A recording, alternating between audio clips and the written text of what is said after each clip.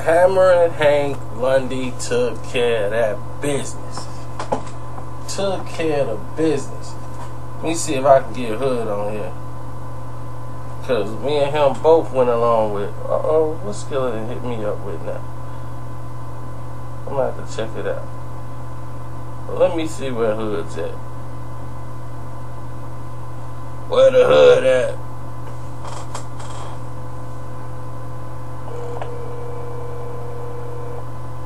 Get a Philly perspective on this. Karceno. What's going on, man?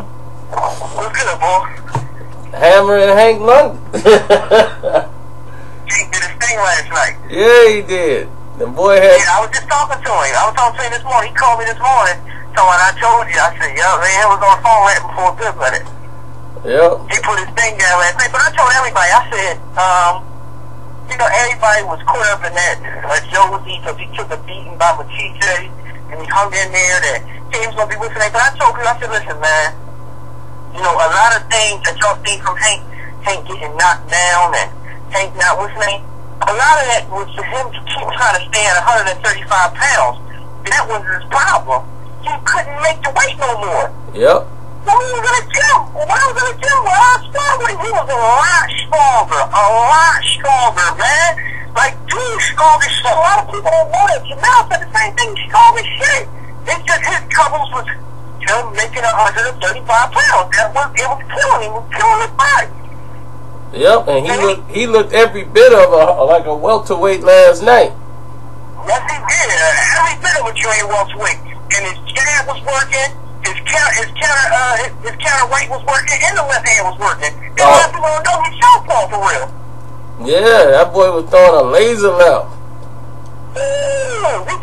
Ooh, we got up in that boy ass last night. We beat the shit out of Ajose last night. Yeah, he did. him. He was beating him worse than um than Matthysse. I'm like a Ajose was getting off on Matthysse. He couldn't get no rhythm on Hank.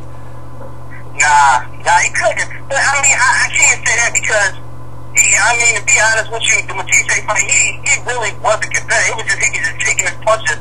People were surprised. He took them punches, how many clean shots he didn't hit with. And he took them punches damn near as fast as he lost. But I mean, I, I gotta give it to Matthysse because Matthysse knocked him out. But, uh, uh, Hank was, really gave him a beating, man. Hank gave him a beat. Hank gave him one of the West Philly, uh, one of South Philly ass whoopings. That's what he gave me. he gave one of them South I mean, Hey, I had it. One dude asked me a question. He was like, "Man, which one is uh, which one is the the best area for boxing? North Philly or South Philly?" He hear that all the time. Which one has the best fighters? Yeah, I mean, I'm North niggas North because North's so big, though, man. It's a lot of motherfucking, you know, it's a lot of grimy dudes come out of North. See, I, I ain't from there. I'm from West. Like, um, I'm from West. Them- Hank and all them. Hank, to be honest with you, Hank is really from West Philly. Hank was born in West Philly, but you know, he moved over to uh, South Philly. So Hank from down my way. Hank from down 46th Street Project, Mill Creek, same where uh, you said Matt come from. B.Y. Jennings and um, B.Y. Jennings is from um, North. Who else? Danny, they from North Rican land. Um, um, Hancock, Cambrian, all that. Fresh Street. Uh, Dave Lozano, that's where they from. And um, else? Eddie Chambers, he ain't from Philly. He really originally from Pittsburgh. But he, he trained out down my way. Steve Cunningham from West Philly too, from 60th Street to Moon, from about where, uh, where I'm from. But uh, but it's, it's man, it's a lot of dudes come from out the city, man. A lot, lot, lot of dudes, man. Who, who talented as ever, man. And I, and I tell people the reason why a lot of people don't go so far in Philly is because they leave everything in them sparring sessions, man. And they got that mentality where they always got to be a fighter instead of fighting smart. You know what I mean? Yeah. Like, it's, it's nobody out here that comes from our city who really, who really, you know, who really make it like that, man. Like, far as, yeah, look at Danny. Danny is probably about the biggest in Philly right now because of where he's going, you know, but besides B-Hop, oh yeah, B-Hop from North too. B-Hop from down projects.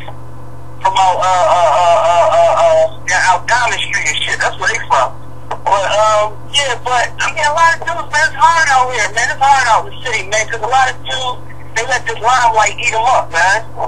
This limelight, boy, you from Philly, you can taste the same. Man, didn't not only just that, Philly don't support motherfuckers. Who don't support them? I'm gonna keep real with you. You can be, you can be a, a, a, a, a big time rapper. We look at you like, man, you just a regular old For real. But I'm, I'm happy, I'm happy for him, though. My good friend, man. You know, he's doing his thing. And that's good, man. He got back on it, man. I always told you, man, stay out of 135, man, and you'll be good. So now he at 140. Would love to see him move on to take some more, some, some other shots. I would love to see him in there if Lamont can make the weight, which I, which he probably can. But I would love to see him in there with Lamont. Now they, they were talking about getting him in the in the ring with the winner of Matthysse, or the loser of the Matthysse versus uh, Danny Garcia fight. Yeah, yeah, no question. Ain't no question. Ain't no question. I love to see him in there with the loser of the winner, but right now he ranked number three in the WBC. Right. Um, he ranked number three. He took a joke thing right here. He's number three in the WBC. But he said, you know, um, he might go after the IBF ranking because they don't feel like Peterson gonna have that belt too long. He gonna wind up giving it up. So that's his thing right there. He might go for the W. He might go for the IBF title. But I mean, that, that that's also a good look. That's also a good look. You know what I mean? So the the winner, because I mean, I'm being honest with you, the winner, Danny and Matthysse is gonna fight uh, Floyd and and May. Will probably be in line to fight Floyd in either May or September. So if he can win, if he can win that fight, I mean, he got a good chance of waiting for the WBC title, and you know they they uh, he's fighting an eliminator for the title because he could possibly have it. So he, I mean, he got plenty of options. He got a lot of options. He just needs to stop signing every contract he likes. yep. For real, man, never get kind of, he can't never sign a contract he ain't like. He's like Manny Pacquiao. That's all he do is sign a contract. For real, that's all I ain't do. All I ain't do is sign a contract.